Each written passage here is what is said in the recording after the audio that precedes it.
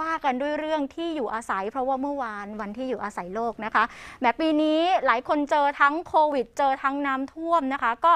ปัญหาที่อยู่อาศัยมันก็โผล่ชัดมากขึ้นค่ะ แต่แม้จะเจอโควิดแต่กิจกรรมการแสดงพลังของเครือข่ายคนจนเมืองยังคงเกิดขึ้น เพื่อผลักดันให้เกิดการแก้ไขปัญหาที่อยู่อาศัย และที่ดินทำกินอย่างเป็นรูปธรรม ในชั่วโมงที่ที่ดินทำกินนี่เข้าถึงยากขึ้นราคาก็สูงด้วยนะคะ พิกัดล่าสุดค่ะ รายงานจากพื้นที่หน้ากระทรวงคมนาคม ถนนราชดำเนิน มีการรวมตัวกันของเครือข่ายสลัมสีภาคนะคะ แล้วก็ชุมชนที่ประสบความเดือดร้อนด้านที่อยู่อาศัย โดยเฉพาะชุมชนริมทางรถไฟ ช่วงโควิดเจอหนักเลยค่ะ เพราะว่า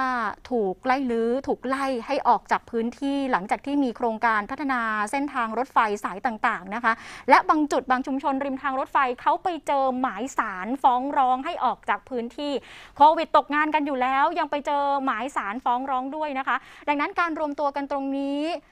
ตั้งเป้าติดตามนโยบายแล้วก็อยากจะให้แก้ไขปัญหาเรื่องนี้อย่างเร่งด่วนและเป็นรูปธรรมค่ะเดือดจากที่ดินรถไฟพี่น้องชปพจากโครงการรถไฟความเร็วสูงเชือกสามสนามบิน ในการชุมนุมมีการให้ข้อมูลถึงผลกระทบจากโครงการพัฒนาระบบคมนาคมขนส่งทางรางนะคะทำให้ชุมชนบนที่ดินของรถไฟ 397 ชุมชน นับเป็นครัวเรือนก็ 39,848 ครัวเรือนใน 36 จังหวัด ถูกรื้อย้ายออกจากพื้นที่ค่ะ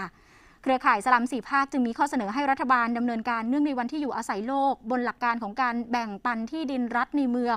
รองรับการแก้ไขปัญหาที่อยู่อาศัยให้กับคนจนนะคะนอกจากนี้ตัวแทนผู้ชุมนุมยังได้ร่วมประชุมกับหน่วยงานที่เกี่ยวข้อง ซึ่งผลการพูดคุยเป็นที่น่าพอใจค่ะนี่มีข้อสรุปเรียบร้อยแล้วว่าเราสามารถอยู่ในเมืองได้ สามารถอยู่ในพื้นที่ที่ไม่ไกลจากที่เดิมได้แล้ว ก็ กรณีหนึ่งก็คือกรณีของรถไฟฟ้าเชื่อมสามสนามบินเนี่ยก็จะการรถไฟเคาะให้เราไปอยู่ตรงย่านหมอเหลง